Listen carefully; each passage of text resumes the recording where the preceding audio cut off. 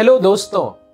आशा करते हैं कि आपने काला जादू के सीरीज़ वाला वीडियो नंबर वन देखा होगा, जिसमें हमने बताया है कि क्या आपके लाइफ में प्रॉब्लम्स का कारण काला जादू तो नहीं? तो ये है पार्ट टू वीडियो जिसमें हम बात करेंगे कि अगर आपके ऊपर काला जादू का प्रभाव है, उस प्रभाव से आप कैसे निकल सकते हैं? आखिर काला जादू का उद्देश्य क्या है? इसका उद्देश्य है आपके मन पे काबू। क्योंकि दिमाग स्थूल होता है और मन सूक्ष्म होता है और सूक्ष्म एनर्जी से इस सूक्ष्म रूपी मन पे काबू पाया जा सकता है। वो कैसे करते हैं मन पे कब्जा? इसके बारे में हमने लास्ट वीडियो में बात किया है। आप अपने मन से शासित होते हैं। केवल वही व्यक्ति जो आध्यात्म के मार्ग में चल के अपने मन को काबू में रखा हो वो ही कंप्लीटली ब्लैक मैजिक के इफ़ेक्ट से बाहर रह सकता है। मन पर काबू करने का प्रयास किया जाता है, जिसमें काले जादूगर जो होते हैं ब्लैक मैजिक के प्रभाव से माइंड पे कंट्रोल कर लेते हैं। दुनिया की अधिकांश आबादी बहुत हद तक मन से शासित होती है, और इसीलिए काले जादू का काम आसान हो जाता है। उनका बस उद्देश्य होता है दिमाग और मन पे निशाना बनाना और उसको नियंत्रण करना। एक बार जब मन पर कब्जा कर लिया जाता है, तब धीरे ही धीरे कठपुतली के तरह उस व्यक्ति के थॉट प्रोसेस के साथ खिलवाड़ किया जाता है और धीरे धीरे वो व्यक्ति कठपुतली नाच करने लगता है। काला जादूगर अपने नेगेटिव ऊर्जा से बुरे आत्माओं को, भूत आत्माओं को और ऐसे आत्माओं की नकारात्मक ऊर्जा से आपके माइंड पर इफ़ेक्ट करते हैं। तो क्या क्या परिस्थितियाँ हो सकती है और क्या क्या संभावनाएँ हो सकते हैं? थोड़ा सा एस्ट्रोलॉजी और ज्योतिष के बारे में बात करके आगे बढ़ेंगे। जिन लोगों की कुंडली में चंद्रमा की स्थिति कमज़ोर होती है, वो काले जादू के प्रति ज़्यादा संवेदनशील या सेंसिटिव होते हैं। अगर लग्न के स्वामी कमज़ोर होते हैं और छठे, आठवें या बारहवें घर में होते हैं और चंद्रमा जिसकी सिक्स एट और ट्वेल्थ हाउस में है और अगर वह राहु के साथ है तो काला जादू का प्रभाव ऐसे लोगों में ज़्यादा होता है। अगर कमज़ोर चंद्रमा शनि के साथ है तो ऐसा व्यक्ति में भी काले जादू का इफ़ेक्ट ज़्यादा होता है। लोग मुख्यतः राहु केतु शनि के दशा के दौरान काला जादू के ज़्यादा शिकार होते हैं, और इससे निकलने के भी बहुत सारे उपाय हम आगे डिस्कस करेंगे। जब राहु और केतु लग्न में हो या राहु केतु की महादशा चलती हो, तब भी नकारात्मक ऊर्जाएँ ज़्यादा प्रभावशील होती है। तो काला जादू का इफ़ेक्ट किस पे ज़्यादा होता है दोस्तों? ये जानना ज़रूरी है। जो लोग नॉनवेज खाते हैं, जो लोग शराब और गांजा भाँग का सेवन करते हैं जो लोग धार्मिक जीवन नहीं व्यतीत करते हैं और आध्यात्म से उनका कुछ लेना देना नहीं, वो ही ब्लैक मैजिक के अधिक शिकार होते हैं। अब हम सीधे आ जाते हैं, प्रॉब्लम पे डिस्कस नहीं करके इसका सोल्यूशंस क्या है? तो काला जादू के प्रभाव से बाहर निकलना कोई बड़ा मुश्किल बात नहीं। जितना आप आध्यात्मिक होंगे और जितना आप धर्म का पालन करेंगे, परमात्मा के आगे किसी की भी हस्ती नहीं चलती। तो पहला है घर में गोमूत्र का छिड़काव। शास्त्रों के अनुसार गोमूत्र एक ऐसा पवित्र पदार्थ माना गया है, जिससे वातावरण की शुद्धि होती है और नकारात्मक ऊर्जा नष्ट होती है। गोमाता में सारे देवताओं का वास होता है और गौमाता से प्राप्त वस्तु अत्यंत पवित्र होती है। किसी भी प्रकार का जादू टोना या बुरे नज़र के प्रभाव में गोमूत्र का सेवन करना चाहिए और ऐसे करने से सकारात्मक ऊर्जा आपके अंदर प्रभावित होने लगती है। नियमित रूप से भगवान के हनुमान चालीसा का पाठ करना या शनिवार को हनुमान जी के मंदिर जाना, सुंदर कांड का पाठ करना ये सबसे काली और बुली नज़र ज़रूर उतरती है। अगर आप अच्छे पैसे कमा रहे हैं और आपका बिज़नेस अच्छा चल रहा है और अचानक से आप देखते हैं कि उसमें ब्रेक लग जा रहा है तो शनिवार के दिन रोटी बनाकर उसमें सरसों तेल लगाकर काले कुत्ते को अगर आप खिलाते हैं तो बहुत फ़ायदा होता है। दोस्तों spirituality in this world answers the why of things and science in this world answers the how of things हर चीज़ के पीछे रीजन है। क्योंकि we are govern by planets राशिज and nakshatras तो ये आप बिल्कुल मत सोचिएगा कि ये सुपरस्टिशन है, काले कुत्ते को खिलाना, रोटी खिलाना and all this there are scientific reasons behind each and everything क्योंकि every planet has a representative every deity has a वाहन and every food has a colour and every food has a property तो इसके scientific facts में जाएँगे, तब तो video घंटों लंबा हो जाएगा। तो थोड़ा सा विश्वास रखते हुए इसको आप प्रैक्टिस कीजिए। और देखिए, आपके जीवन में फ़र्क पड़ता है कि नहीं? कुत्ते को रोटी खिलाना कोई खराब बात तो है नहीं। कम से कम खिला के तो देखिए, मेलोडी खाओ, खुद जान जाओ। आप किसी के बुरी नज़र के शिकार में हैं तो कच्चे दूध का इस्तेमाल करें। ग्रसित व्यक्ति के ऊपर उसके सर पे साठ बार उसको घुमा के क्लॉकवाइज उस दूध को, काले कुत्ते को पिला दें तो सारा तांत्रिक क्रिया कट जाता है। घर में खाना खाने के बाद एक मिट्टी के दिए में सरसों को लेके कपूर के साथ अगर आप जलाएँगे तो नेगेटिव ऊर्जा तुरंत कटती है, क्योंकि कपूर में शुद्धता होती है। हर दिन भोजन में हींग का सेवन ज़रूर करें। हींग के सेवन से भी पॉजिटिव ऊर्जा बढ़ती है। रात में अगर आप नदी, चौराहा, तालाब या शमशान घाट को पार कर रहे हैं तो हमेशा भगवान का स्मरण करते हुए और नाम जप करते हुए यात्रा कीजिए।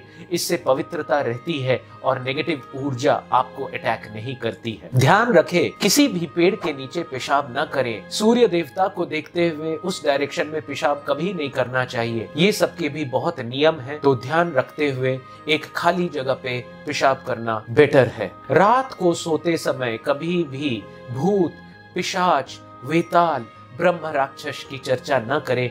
इससे ऐसे नेगेटिव ऊर्जा वाले आत्माएँ एक्टिवेट हो जाते हैं। आपको कोई तांत्रिक क्रिया करके परेशान कर रहा है और दुकान का कारोबार इफ़ेक्ट हो रहा है तो पीपल के वृक्ष के पाँच पत्ते तोड़ ले और इसके साथ पान के पत्ते डंटी वाले पान के पत्ते को लेके एक लाल धागा में पिरो ले और अपने दुकान के पूर्व दिशा में बाँध दे तो ऊपर से किया गया सारा तांत्रिक क्रिया कट जाता है। अपने घर को बिल्कुल साफ़ सुथरा और पवित्र में रखे। हर दिन पूजा अर्चना होनी चाहिए। दीप, धूप जलना चाहिए। भगवान के यहाँ घंटी बजनी चाहिए और शंखनाद होना चाहिए। जिस घर में पूजा होती है, तुलसी में जल चढ़ता है, जिसमें पवित्रता होती है, जिसमें अलग अलग पाठ होता है, जिसमें पवित्र नाम उच्चारण होता है, ऐसे जगह पे भूत प्रेत बाधाएँ कभी भी नहीं रहती और पॉजिटिव ऊर्जा से ऐसा घर ओत प्रोत रहता है। अगर आपका घर साफ़ सुथरा नहीं है और मकड़ी के जाले दिख रहे हैं तो तुरंत मकड़ी के जालों को हटा देना चाहिए। अपने घर में नमक पानी का छिड़काव करना चाहिए और पोछे में नमक युक्त जल को यूज़ करना चाहिए गोमूत्र मिला के। और नमक को शीशे के कंटेनर में डाल के घर के कोनों में रखना चाहिए और नमक का छिड़काव, घर के कोनों में नमक पानी का छिड़काव करना चाहिए, जिससे नेगेटिव ऊर्जा कंट्रोल में रहता है। सप्ताह में एक बार घर के किनारों और कोनों में नमक पानी का छिड़काव करें।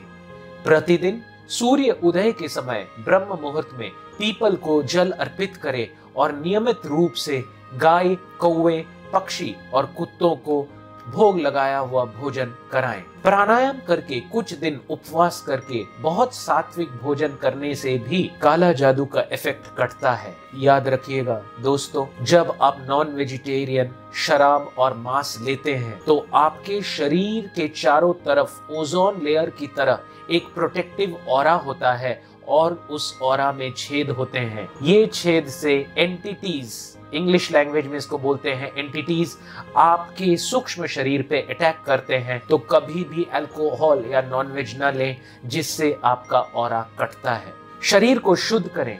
यदि आप सप्ताह में ये अभ्यास करते हैं, शरीर की शुद्धि, मन की शुद्धि, वचन की शुद्धि और विचार की शुद्धि तब भी नेगेटिव ऊर्जा आपके ऊपर हावी नहीं हो सकता है। अपने पूर्वजों को और अपने कुल देवी होते हैं, उनको हमेशा प्रसन्न रखना ज़रूरी है। ग्राम देवता स्थान देवता इष्ट देवता ये सबका वास्तु देवता सबका रोल होता है, जिससे काला जादू का इफ़ेक्ट आपके घर पे कम से कम हो। नकारात्मक शक्ति से हमेशा बचे रहने की ज़रूरत है।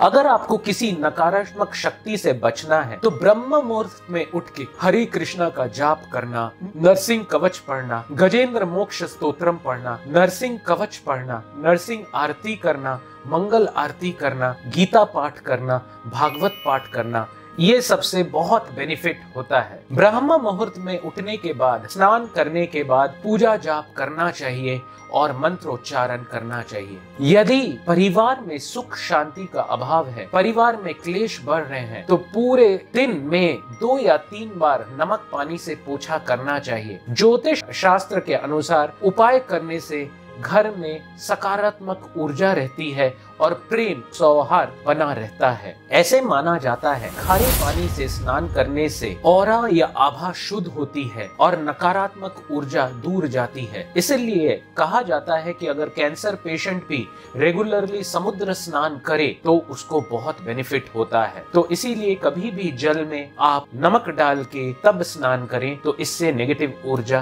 कटती है। और बर्तन में आधा किलो कच्चे गाय का दूध उसमें शहद मिला के अगर आप घर को पोछते हैं और छत से लेकर नीचे रूम और हर रूम में गायत्री पाठ या हनुमान चालीसा का पाठ करते हुए दूध का छिड़काव करते हैं, तब भी बहुत बेनिफिट होता है। रविवार को सुबह काले धतूरे के जड़ को दाहिनी भुजा पर बांधने से भी काला जादू का इफ़ेक्ट कम होता है। तो दोस्तों, मैंने काफ़ी सारे उपाय आप लोग को बताए। घर के मुख्य द्वार के पास सफ़ेद आँख का पौधा लगाएँ। यह हमेशा आत्माओं और काले जादू से रक्षा करती है। ये जो भी उपाय बताया जा रहा है, ये कोई सुपरस्टिशन नहीं है।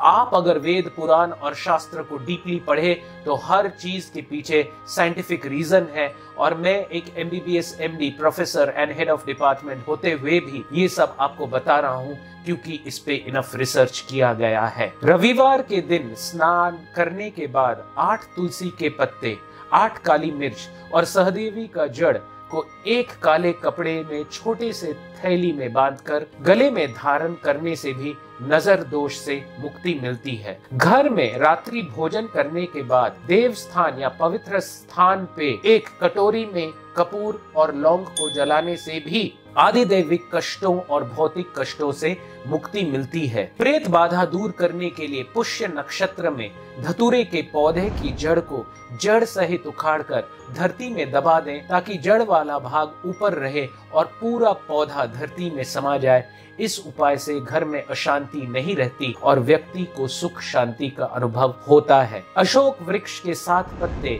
मंदिर में रखकर पूजा करें। जब वे सूख जाए तो नए पत्ते रख दें और पुराने पत्तों को पीपल के पेड़ के नीचे रख दें। यह क्रिया नियमित रूप से करने से घर में भूत, प्रेत, नज़र दोष आदि से मुक्ति रहेगा। भगवान गणेश को एक साबुत सुपारी चढ़ाएँ और एक कटोरी चावल दान करें।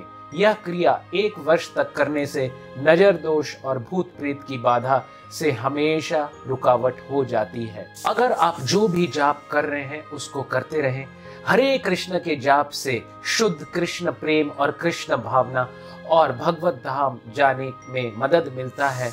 और ये अलग अलग जो अलग मंत्र हैं, इसके भी स्पेसिफिक कारण है और इससे नेगेटिव ऊर्जा कटती है। इसके अलावा दुर्गा सप्तशती का पाठ, दुर्गा कवचम नरसिंह अष्टकम, नरसिंह आरती, नरसिंह वंदना करने से भी बहुत लाभ होता है। जिस घर में यज्ञ होता है, जिस घर में पूजा पाठ होता है और हवन सामग्री जैसे लोबान और नारियल का खस, ये सब जलाया जाता है तो समझिए कि वहाँ पे नेगेटिव ऊर्जा कभी भी इफ़ेक्ट नहीं होती है। तो अगर एक लाइन में बोला जाए तो परमात्मा का सहारा लीजिए, परमात्मा को आत्मसमर्पण कीजिए, और ऐसा करने से काले जादू का प्रभाव बिल्कुल नहीं होगा। जब परमात्मा सामने होते हैं तो किसी की हस्ती नहीं चलती।